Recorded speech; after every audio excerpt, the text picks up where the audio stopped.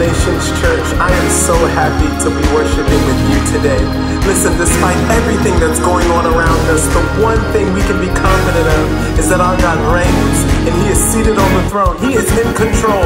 And if you believe that, would you clap your hands and sing along with us as we lift up Jesus today? You're the light.